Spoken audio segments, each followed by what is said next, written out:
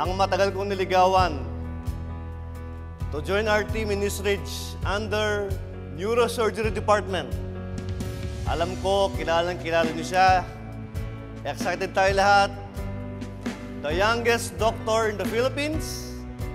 Let's all welcome Doktora Annalyn Santos.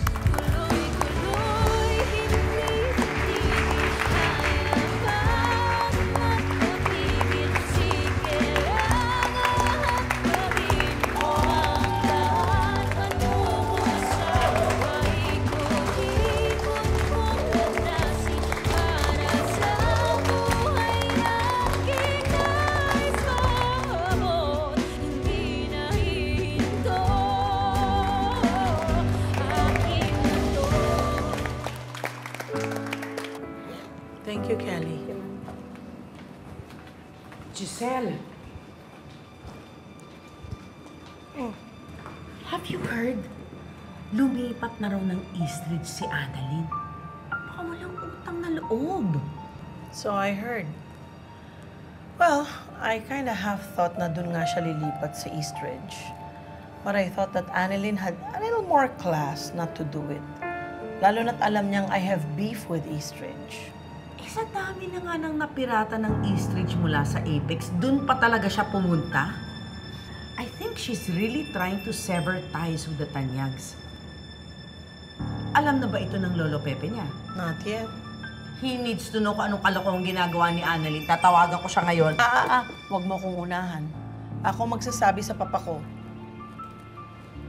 Know, I was just wondering nga eh, bakit ba yung Eastridge na yan? Halos lahat ng tao dito nire-recruit. Going to do? Well, I already scheduled a meeting with our CEO later today. Pupunta ka ng Eastridge? Sasama ako. What for? Mga away? No, of course. Sa, gusto ko lang makita kung ano yung ginagawa ng competition natin at nakukuha nila yung mga tao natin. Fine. But I'm warning you, nandun si Annalyn. Hindi ka pa ba masaya na wala na dito sa Apex si Annalyn? Hindi ba yun naman ang gusto mo? For Zoe to finally shine at hindi rin siya masapawan ni Annalyn. Maraming salamat po. Balik na po tayo sa mga trabaho natin at sa mga stations natin.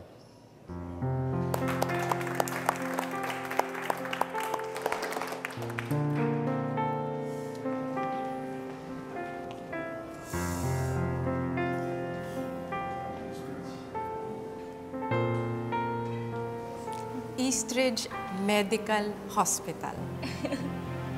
I never imagined that the next time I get to work with you, it would be under a different hospital.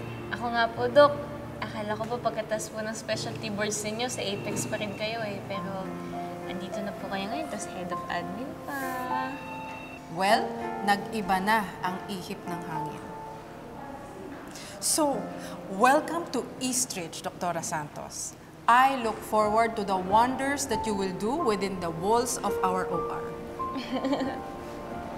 Hindi muna mag-OR si Dr. Santos. I heard. Kamusta na ba yung kamay mo? Ah, magaling na po to, Dok.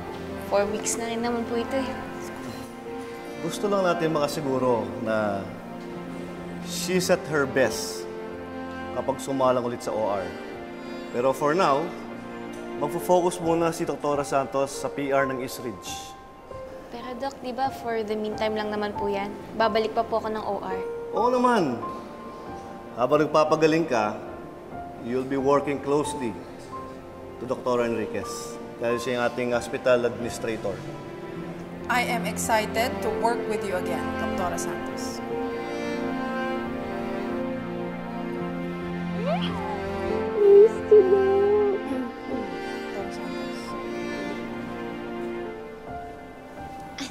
Sorry po, Dok. Na-miss ko lang po kasi si Doktora. Sige, okay lang. Nakakatuwa nga kayong tignan eh.